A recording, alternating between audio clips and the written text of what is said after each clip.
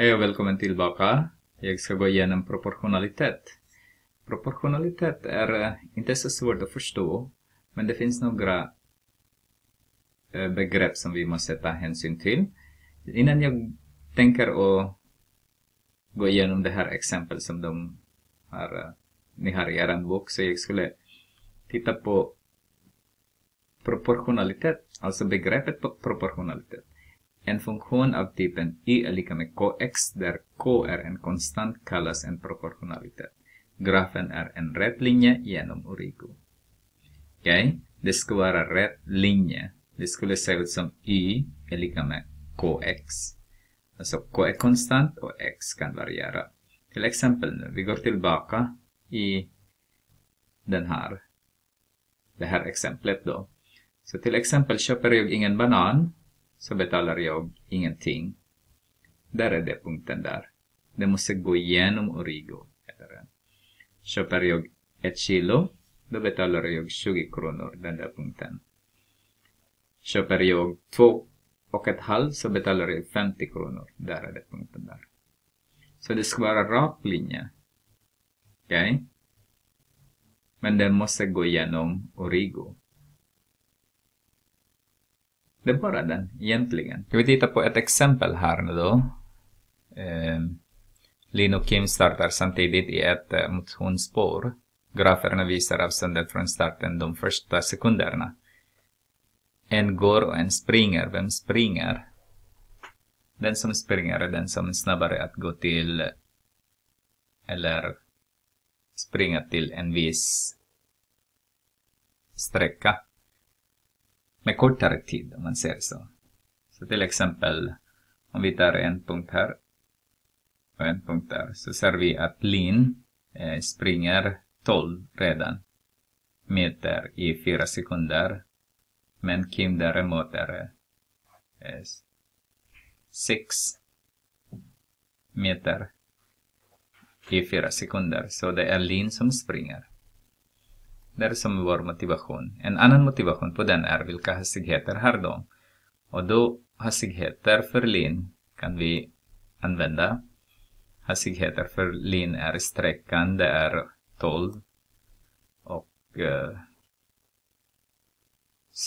tiden är 4. Så har vi 3 meter per sekund.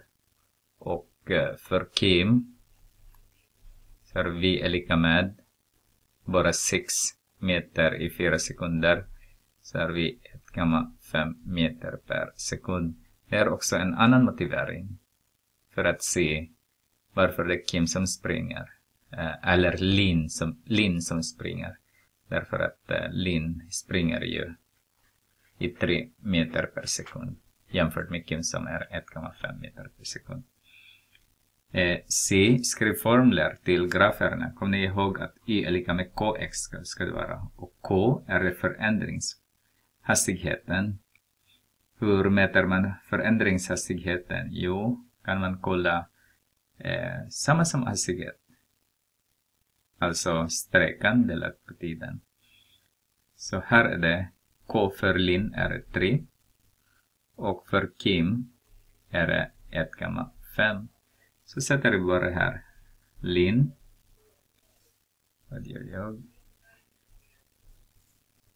Lin då är det y är lika med 3x och uh, Kim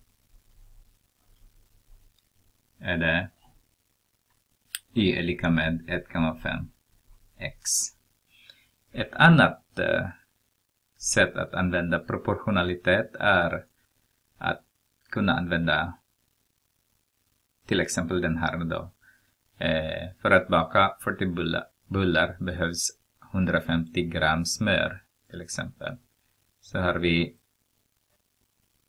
eh, 40 blir det 120.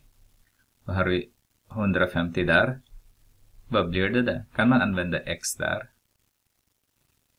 Så kan man göra så här. Proportionalitet heter den. x dividerat med 150 är lika med 120. Alltså ni började med x dividerat med 150 så börjar ni igen med 120. dividerat med 40. Så har vi x är lika med, om vi multiplicerar båda led med 150, med 150 så har vi x är lika med 3 multiplicerar med 150. Då har vi 450 gram smör. Den där med ekvationslösning. Men vill ni inte använda den så har ni 120 dividerat med 40 kan ni se. Så har ni 3. Det betyder bullarna blir tre gånger så stor. Så naturligtvis smör måste vara tre gånger så stor också. Så har vi 150 multiplicerat med eh, 3. Så har vi 450 gram.